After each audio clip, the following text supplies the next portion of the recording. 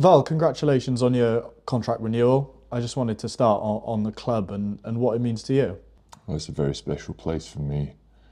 Um, you don't stay at a place for over six years if you don't feel like it's your home. I've had a lot of battles here, a lot of ups and downs, but uh, there's there's a sentimental feeling when I come here every day.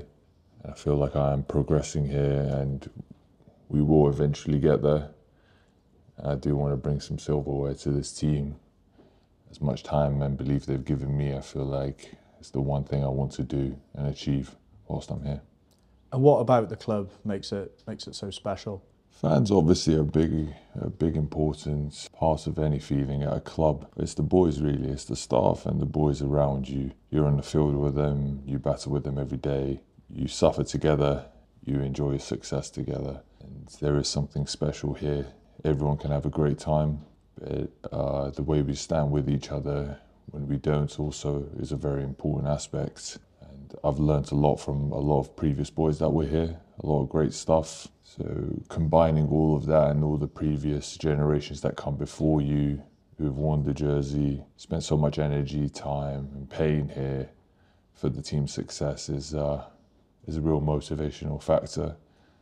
I'm very humbled to be a part of this team for another three years. Val, obviously, you've played with some great players uh, during your time at the club. I just wanted to, to talk about this group now, and there's a real feeling of, of togetherness within the squad, isn't there? Like I said, we're taking every day as a challenge and using our time wisely, and we're in kind of a anarchic state of pushing as hard as we can, whatever we can, whilst the body is obviously healing. So but uh, it's been a very difficult season for me and for the boys. I mean, losing nine in a row. But I see how much, how hard they work, how how hard they care about it, and these scores haven't been huge differences. They've been minor little things here and there, which we will correct and we will eventually get right. And I just feel like I still have a lot more to give to this team, and there's so much disappointment I still sit in the background. And I feel like if I just work hard enough, if I just stay focused when I come back, I can make a difference for them. And that's that's my way of showing my love and gratitude to the team and the boys by making sure that whatever time I have off, I use it constantly to make sure that I am back 100%. There's no point me coming back and saying, "Oh, it took a long time. I need to ease my way."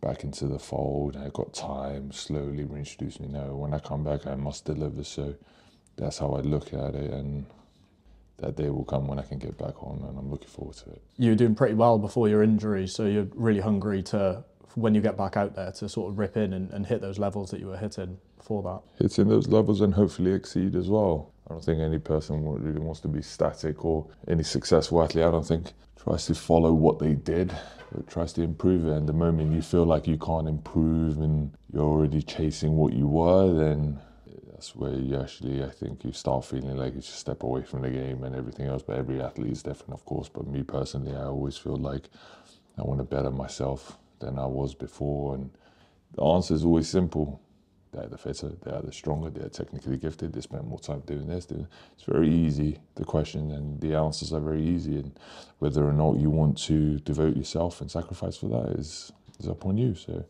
I see it very easily, and uh, I'm very motivated and very looking forward to coming back, basically. Yeah.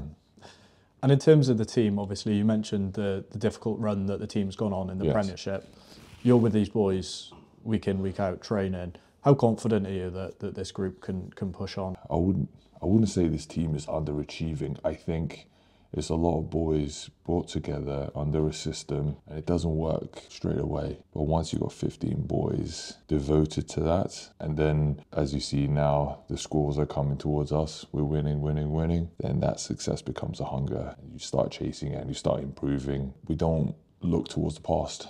We don't really care about it. We learn from it, of course, but we set it aside and we be very harsh with ourselves.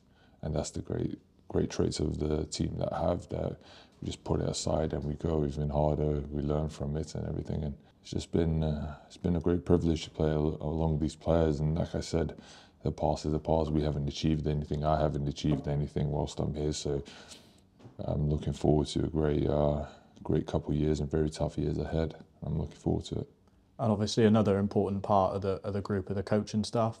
I know George in particular is someone that you've said has been patient with you and, and really helped you. I just wanted your thoughts on the on the coaching staff. He's been one of those coaches where uh, time, the more time we spent with each other, the more we understood each other. Great coaches are the ones that can only put great players in great positions, but they understand each person's personality, understands they have to treat them differently. Not that anyone should be more privileged than the other, but how to get the best out of a certain player and just basically understood who I was and worked me towards a state of mindset and play where I could utilize my skill set in ways which would be very effective towards the game rather than quantity quality. So that was our big fundamental, and we just built our relationship along and trust. And it's it's just very simple relationship with me and him. Have you know what does he want? What do I need? And then that's it. There's no other conversation about it. Let's just go get the results.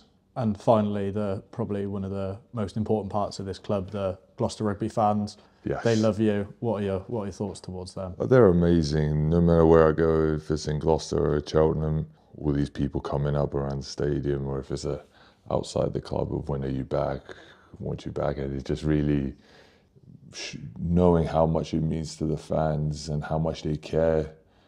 You know, it it motivates you, wakes makes you wake up early, it makes you go to sleep late. You know, it's it's just constantly on your mind, and that's what's brilliant. And if you want to succeed, then that sort of pressure and that sort of fan base is very important for a team's success. So thank you to all of them for how patient they've been with me, and hopefully, when I do come back, I can show them what I'm all about.